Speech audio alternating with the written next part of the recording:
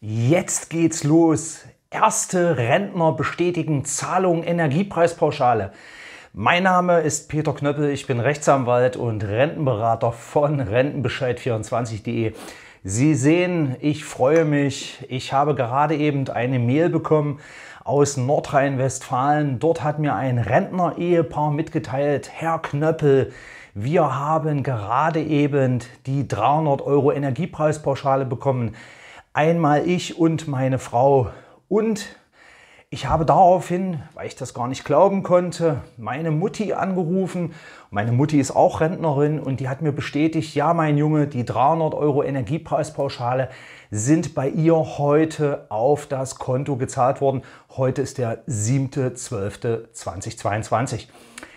Also meine Damen und Herren, der Gesetzgeber hält Wort. Die 300 Euro Energiepreispauschale werden ausgezahlt. Die ersten Rentner bestätigen die Zahlung der 300 Euro Energiepreispauschale ab dem 1.12.2022 in Gesetzeskraft gegossen. Ich freue mich für alle gesetzlichen Rentner, die die Energiepreispauschale bis zum 15.12.2022 ausgezahlt bekommen.